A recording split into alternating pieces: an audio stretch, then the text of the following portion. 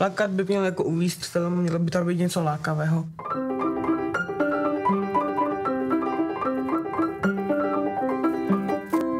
Celkově ten vzhled je takovej surrealistický a ty takový blbosti děláš, ne?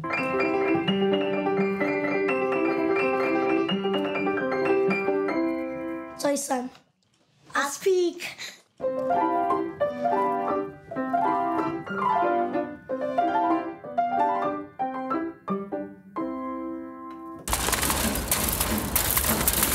Vůči společnosti jsem já postižená a vůči mě postižená společnost, takže vzájemně, vzájemně jsme si postižení. Budeme si třeba teď povídat, co Aspergerův syndrom vlastně umí. Mám talent na malování také. Ale hlavně mám talent na rozbíjení věcí.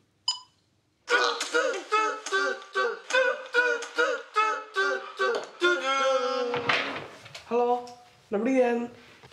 Já jsem se chtěl zeptat, prosím vás, já jsem už, já jsem teda včera jsem nevolal, to jsem to, ale chtěl jsem se zeptat, jestli bych mohl mluvit s panem prezidentem.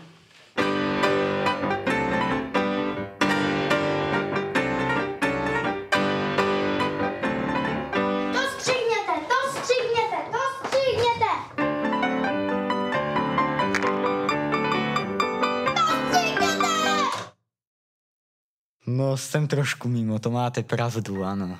Trošku nenormální. Ale já si ten svůj nenormální život docela užívám.